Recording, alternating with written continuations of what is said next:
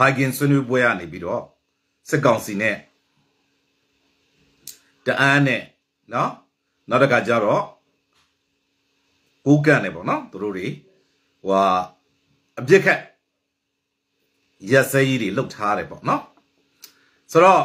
အားလုံးမင်္ဂလာပါ MKM မြန်မာမှာကြိုဆိုပါရစေကျွန်တော်တို့ရဲ့ရှင်နေဟာဆိုရင်နေ့စဉ်နေဦးတော်လေးနဲ့ပတ်သက်တဲ့သတင်းထိုးသတင်းကောင်းတွေကိုတင်ဆက်ပေးနေတာမို့ ကျွန်တော်ရဲ့ရှင်နေလေးကို subscribe လေးလုပ်ပေးအသိတင်တိုင်းသိရအောင်ဘေးနားက notification ခေါင်းလောင်းလေးကိုပါနှိပ်ပေးခဲ့ပါနော်ကျေးဇူးသူများကိုအထူးပဲကျေးဇူးတင်ပါတယ်အဲ့ဒီအကျိုးဆက်တွေကတော့ဘာပဲဖြစ်ဖြစ်ကျွန်တော်တို့ဒီဘက်ဗမာဒေသပြည်မဒေသပေါ့နော်အဲ့ဘက်ကိုရောက်လာမယ်လောလောဆယ်ကျွန်တော်တို့ရေတော်ဘုံကြီးမှာအာတက်စီယာက KIA ကနှွာနေတာလေစစ်ခွေးတွေ ကြောကော့အောင်သူတို့ခံနေရတယ်အောက်မှာလည်း KNU ကနှွာနေတာကိုစစ်ခွေးတွေကြောကော့အောင်ခံနေရတယ်ဆိုတော့ကျွန်တော်တို့ပြန်ကြည့်လိုက်လို့ရှိရင်ရန်သူကလုံးဝအနာမရဆိုတော့ကျွန်တော်တို့ကျွန်တော်တို့ဆိုတဲ့နေရာမှာကျွန်တော်တို့ဆိုတဲ့ဟာကိုကျွန်တော်တို့ကိုစားပြုပြီးပြောမှဆိုရင်မြန်မာတပီလုံးအတိုင်းတာကိုကျွန်တော်တို့ကလို့ကျွန်တော်ရည်ညွှန်းပါတယ်အဲ့တော့ကချင်ကရာအဲကချင် ကရနီကရင်ချင်းမောဗမာရခိုင်ရှမ်းအားလုံးပြည်တော်စုသားတွေအကုန်လုံးကိုဥကံပါဝင်ပါနော်ကျွန်တော်ရည်ညွှန်းတယ်ဆိုတော့ကျွန်တော်တို့ဤအတိတ်ပဲကိုကျွန်တော်ဒီနေ့ဖွင့်ဆိုခြင်းဖြစ်ပါတယ်ဆိုတော့က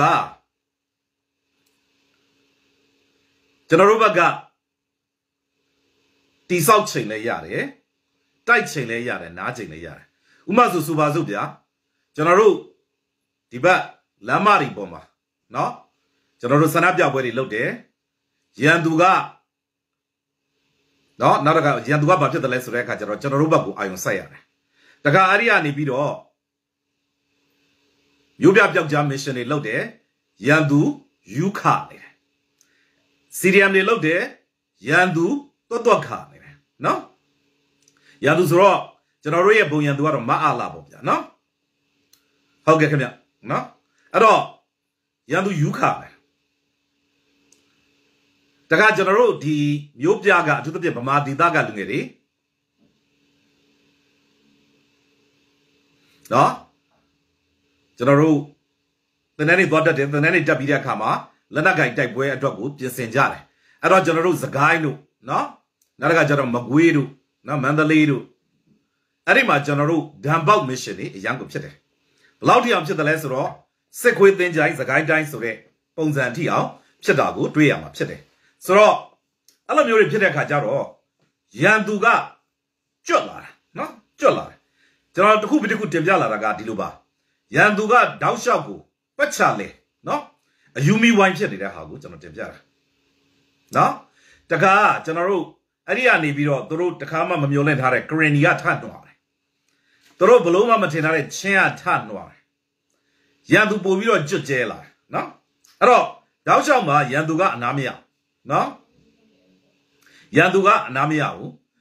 အဲ့လိုမျိုးလှုပ်လာတဲ့ခါကျတော့အဲ့ဒီကနေတဆင့်တဆင့်တဆင့်တဆင့်နောက်ဆုံးအဆင့်ကျတော့ကျွန်တော်တို့ဘယ်လောက်ထိဖြစ်လာလဲဆိုတော့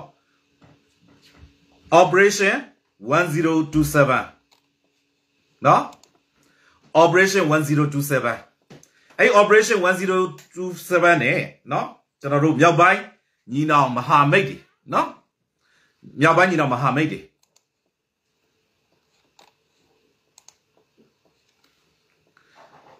ရန်သူကိုနှွာတာလုံးဝကိုရန်သူတွေအတုံးယုံမယ်ဆိုလိုချင်တာကကျွန်တော်တို့မြမအရေးသည်ပြည်တော်စုအရေးဖြစ်တဲ့အခါကျတော့တစ်ခုနဲ့တစ်ခုကဆက်ဆက်တယ်ကျွန်တော်အဲ့ဒါကိုတင်ပြချင်တယ်နော်မြမအရေးသည်ပြည်တော်စုအရေးဖြစ်တဲ့အခါကျတော့တစ်ခုနဲ့တစ်ခုဆက်ဆက်နေပြီးတော့နော်ဆက်ဆက်နေပြီးတော့ဒီဘက်ကပြည်မရဲ့အကျိုးသက်ရောက်မှုသည်တောင်တန်းဒေသကိုသွားတယ်လို့တောင်တန်းဒေသရဲ့အကျိုးသက်ရောက်မှုသည်လည်းပြည်မဒေသကိုသွားတယ်အဲ့တော့ဒီဘက်ကရန်သူတွေကအဲ့လိုမျိုးယူခါပြီးအယူမီဝိုင်းဖြစ်နေတဲ့အချိန် နော်ဖြစ်နေတဲ့အချိန်မြောက်ပိုင်းညီနောင်သုံးပေါ်ကနေပြီး1027ဆိုပြီးတော့ dog shot dog shot dog shot တွေတိမ့်ပလိုက်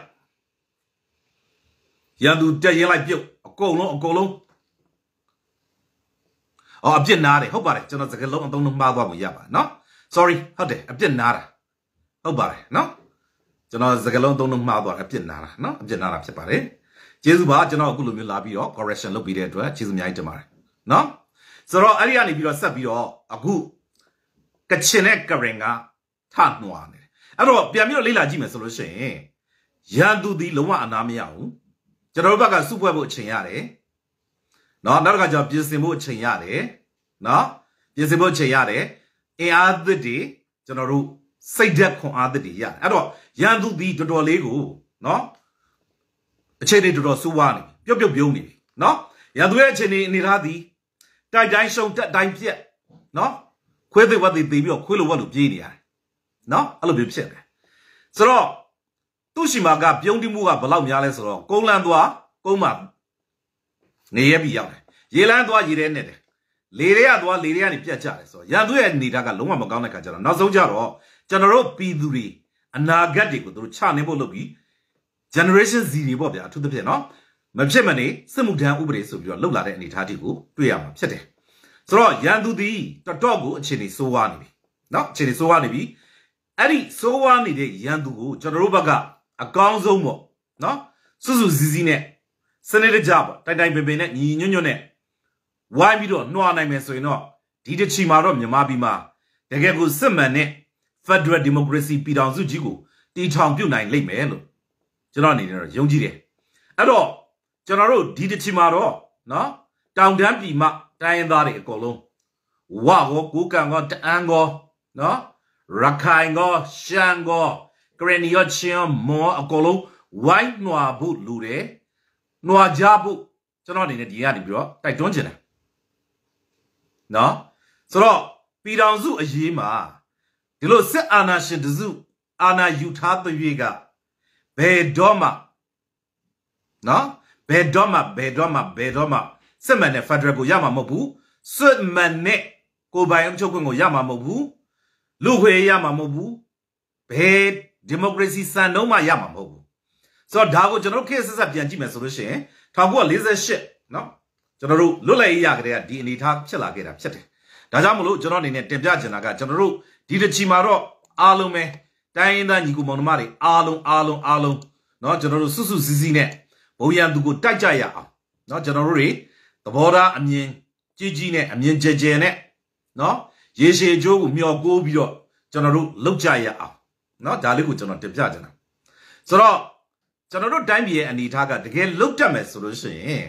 နော်အကုန်စုပေါင်းပြီးတော့ညီညွတ်ညွတ်နဲ့လုပ်မယ်ဆိုလို့ရှိရင်တိုင်းပြည်ကတိုးတက်စရာအများကြီးရှိတယ်တကယ်ကိုလည်း Federal Democracy ကိုရရှိမှာဖြစ်တယ်တကယ်လို့သာကျွန်တော်တို့တွေကနော်အမြင်ကြီးကြီး အမြင်ကျကျသဘောထားကြီးကြီးနဲ့မလုပ်ကြဘဲနဲ့နော်ကိုအစုအဖွဲ့ကိုကွက်ကွက်လေးပဲတီးတန့်ကြည့်မယ်ဆိုရင်တော့ကျွန်တော်တို့မြန်မာပြည်ကဘယ်တော့မှမဆုံးနဲ့နော်ဝစ်ကြွေးငရဲတန်နေရာကြီးကိုလည်နေကြရမှာပေါ့နော်အဲ့အနေထားတစ်ခုတော့ရှိတယ်ဒါအပြင်ကိုကျွန်တော်တို့တိုင်းပြည်ကြီးကတကယ်ကိုကျွန်တော်တို့နော်လုတ်တက်ကင်တက်မယ်လုံနိုင်ကင်နိုင်မယ်ဆိုလို့ရှိရင်တိုင်းပြည်မှာလူစွမ်းရင်းမြစ်တွေလည်းရှိတယ်နော် တခါကျွန်တော်တို့ဟိုတွင်းထွက်တွေရှိတယ်သက်တော်တွေရှိတယ်တခါကျွန်တော်တို့အတွက်နော်ဒီဒီအာဆီယံအပါဝင်တရုတ်နဲ့အိန္ဒိယနဲ့နော်အဲ့ဒီ navalist တွေပေါ့နော်အကုန်ပေါင်းလိုက်လို့ရှိရင်ကမ္ဘာဈေးကွက်ကြီးရဲ့လူဦးရေပေါ့ sorry နော်လူဦးရေရဲ့၄ပုံတစ်ပုံလောက်ရှိမယ်အာဆီယံရဲ့တရုတ်ကအိန္ဒိယကပေါင်းလိုက်လို့ရှိရင်နော်ဆိုတော့အိန္ဒိယ1ဘီလီယံကျော်တယ်တရုတ်ကလည်း1ဘီလီယံကျော်တယ်အာဆီယံမှာကြည့်လိုက်လို့ရှိရင် ကျွန်တော်ခန့်မှန်းကြည့်1ဘီလီယံဒီပါများရှိမလားမသိနော်ဆိုတော့ကဘာမာကလူရေကတန်း9000လောက်ရှိတယ်ဆိုလို့ရှိရင်ကျွန်တော်တို့ကမြန်မာပြည်ဒီကဘာလူရေတဝက်ပေါ့နော်အဲ့ဒီအဲ့ဒီဟာကိုဈေးကွက်ကြီးရထားတယ်